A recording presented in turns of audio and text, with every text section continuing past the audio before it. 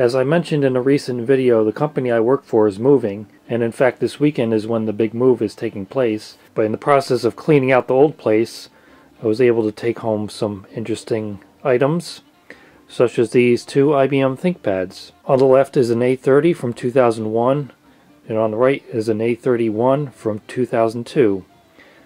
They're almost identical in physical design, although they have different processors and some different features. These were the biggest and heaviest ThinkPads of their time, and they were considered to be desktop replacement machines. So these were definitely not cheap laptops. One thing I noticed right away when I was pulling these out of the e-waste bin is that unlike most older ThinkPads, they do not have a rubberized coating. Just normal texturized plastic which makes them a little easier to clean, but they're still prone to scuffs and scratches as you can see. They both could use a little bit of cleaning, but they're not too bad. The left is the A30 with a 14.1 inch 1024 by 768 resolution display. On the right is the A31, that's a 15.1 inch display. Unfortunately, it's not the FlexView IPS panel, which is so popular with ThinkPad enthusiasts because they use those to put into more modern ThinkPads to upgrade the display. This just has the normal 1024 by 768 resolution panel in it, but it's still nice to have such a large display in a ThinkPad. The keyboards are identical. They have some shortcut keys on the left here for your internet usage. There's email, home, search. It looks like bookmarks, reload, and stop. And like most ThinkPads, you have your back and forward buttons for your web browser, which also work when navigating the operating system, such as in the Windows File Manager. You can step through your folders this way. This A30, as you can see, has more heavily worn keyboard well, the A31 is not quite so bad, just a little bit of wear, but considering its age, it's really not that bad at all. And in fact, this one, the little protective film over this indicator panel, has been removed until right now when I just took it off. And the A30 is also missing the cover for the track point. Well, the A31 has the cat's tongue textured cover on it, which some people don't really like because the feel of it. But you can get replacements for these in a variety of different kind of textures on them to suit your preference. These are both years before Lenovo took over the ThinkPad range, so they're true and true IBMs. They both have double latches to open the LCD, and one thing I just noticed is that the A30, the latches have little green arrows on them, while the A31, they're not painted for some reason. I'll just stack the machines on top of each other as I go around the ports since they're so similar. And here's the most interesting feature of these machines. That's a 240 megabyte SuperDisk floppy drive, better known as LS240, which was backwards compatible with LS120. I don't have any LS120 or 240 disks, but these will also read and write regular 3.5 inch floppy disks. And these are electronic motorized eject, which is very unusual to see in a PC floppy drive. That was common on older Macintoshes, but not PCs. So these, I didn't even know these were an option on these ThinkPads, an LS240 drive. So that's rather unusual. And these can be removed, and I suppose you could put in I don't know if you could put in a second optical drive because there's also an optical drive on the other side which we'll see in a moment. This side is Ultra Bay 2000 and the other side is Ultra Bay Plus. You can also see the audio ports, headphone, line in, and microphone. There's also an infrared port on these and of course cooling vents for the CPUs. On the front you just have your stereo speakers built in. The other side has the optical drive the A30 is just a standard 24X CD-ROM drive, while the A31 has a DVD-ROM drive, and you can also get a combo DVD reader and CD burner drive for these. I don't know if you could get a DVD burner for these, but maybe by swapping in from a newer model.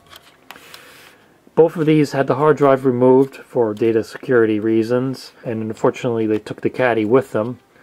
But you can get replacements of those for about 10 bucks on eBay, including the trim cover, or you can just stick in a hard drive and you don't really need a caddy because that's a standard 44 pin 2.5 inch IDE connector back there.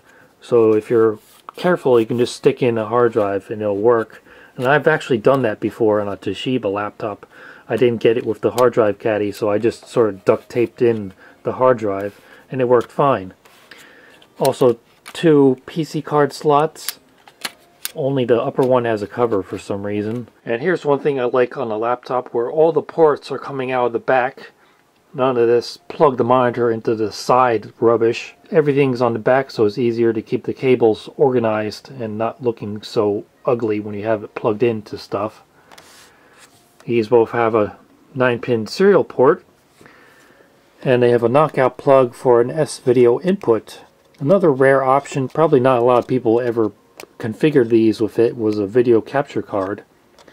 But these both do have the S-Video output, and I believe these can also be used with composite video if you get an adapter. then there's the 56K fax modem, 10100 Ethernet, VGA video output, parallel printer port, two USB ports, and the power input. On the bottom, they're both the same. You have the battery, the door where the Ethernet card, modem card, and optional wireless card goes.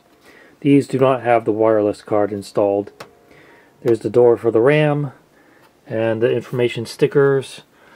The A30 comes with Windows 2000 Professional, or it would have come with it originally. I don't mind if you copy the product key because at this point Windows 2000 is considered to be abandonware, pretty much.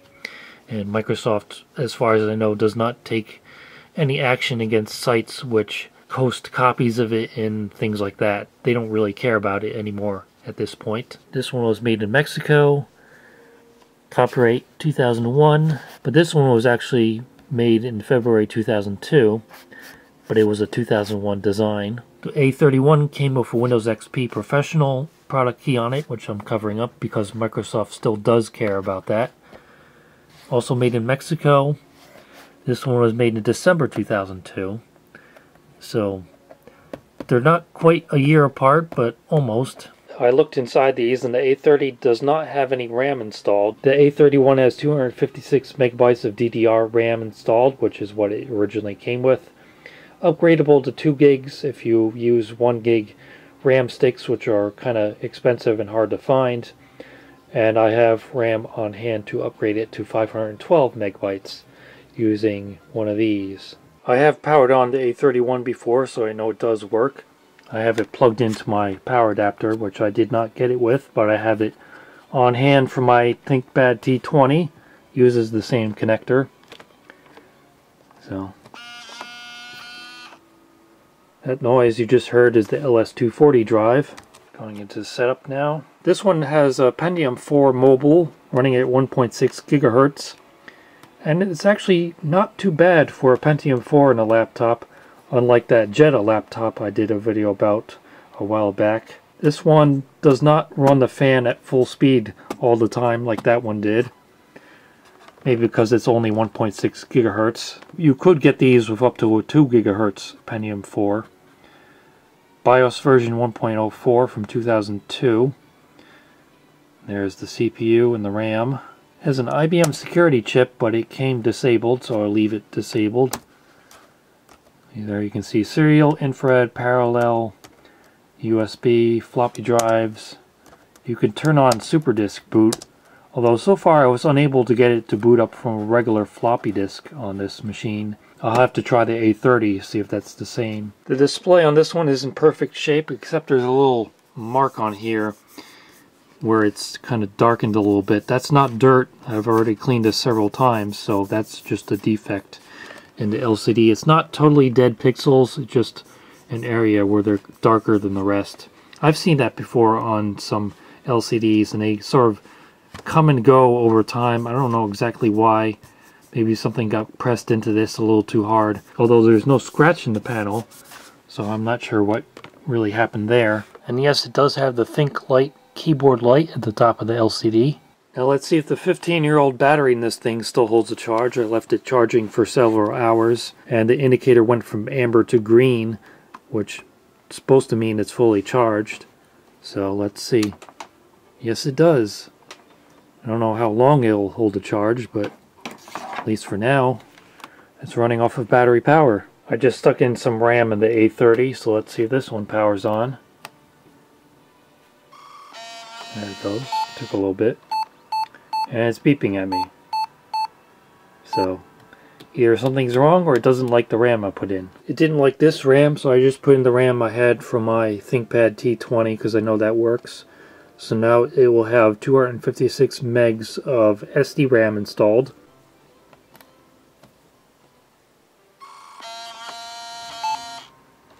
Still doesn't like it. So I'm not sure what's going on with this. This could be a dead machine because the RAM was already taken out of it when I found it. And the battery light is flashing for some reason.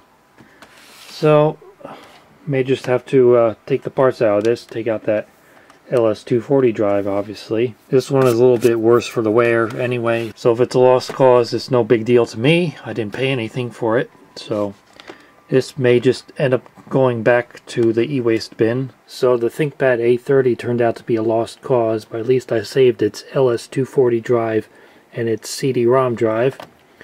I tried its battery in the A31 and it only lasted about 30 seconds before it started beeping at me to let me know that it was running out of power, so I didn't save that. And I stuck in an old 12 gig IDE laptop hard drive, and I installed Windows Fundamentals for Legacy PCs on it, which is basically a slimmed down version of Windows XP Service Pack 2.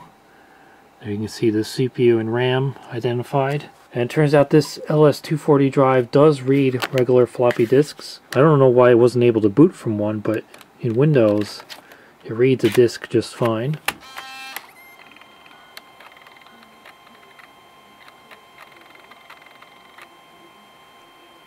And from the sounds it makes, it sounds like a 4x speed floppy drive, like one of those drives used in the Sony Mavica cameras. This disk has a bunch of old DOS utilities on it, and I'll do a test of copying them to the hard drive so you can hear the sounds it makes.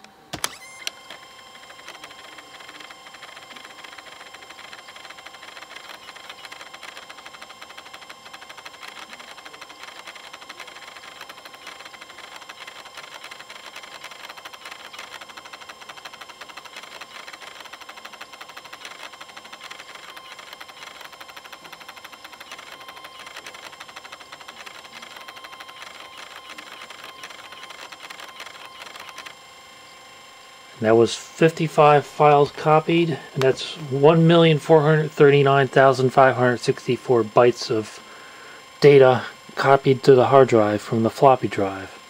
So that's really quite impressive how fast it is. And here's that motorized eject. The device manager identifies the LS240 drive as a Fujitsu MHK2120AT. It also had no trouble formatting a 720K double density disk. So I think these LS240 drives are absolutely brilliant. Work perfectly for regular floppy disks.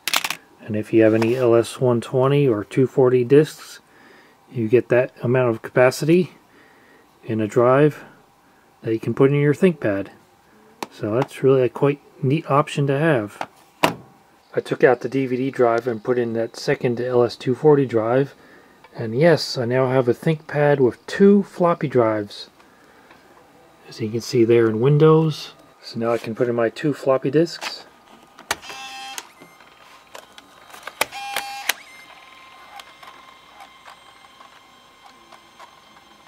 And I'm going to copy the contents of the A drive to the B drive. So I'll do select all and drag them over to the B drive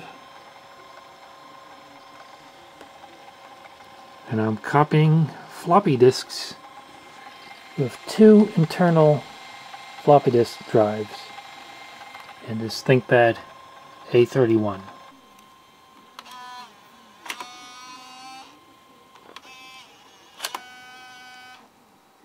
I just noticed nobody ever took the protective film off of this strip either.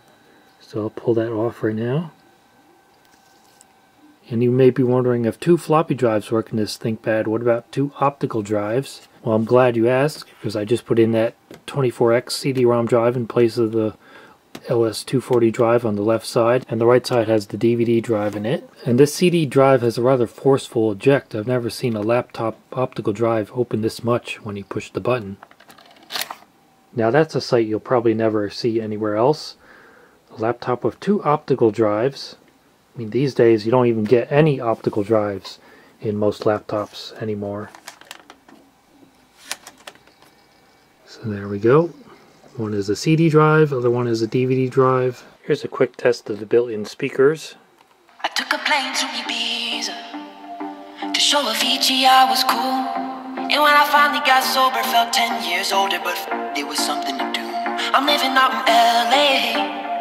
I drive a sports car just to prove I'm a real big baller cause I made a million dollars and I spend it on girls and shoes. So not exactly the best sound quality, but they do get quite loud.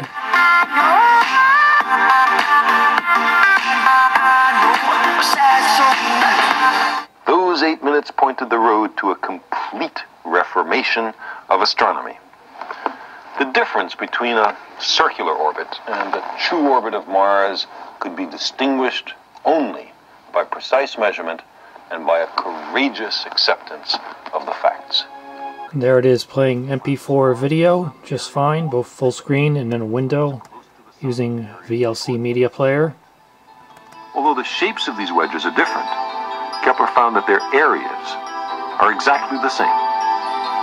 This provided a precise mathematical description of how a planet changes its speed in relation to its distance from the Sun. And I don't know if you can even hear that, but that's the cooling fan running. And even when I was playing video, it didn't get any louder than that. So for a Pentium 4 laptop, I'm really impressed of how quiet and cool it runs. So that's the IBM ThinkPad A31. Not too useful for modern operating systems and applications, but you have to remember it's 15 years old, so its features and capabilities for that time are really quite impressive. And it's a good example of how ThinkPads used to be really the best laptops you could buy. I know modern ThinkPads are still pretty good, but they sure don't make them like they used to.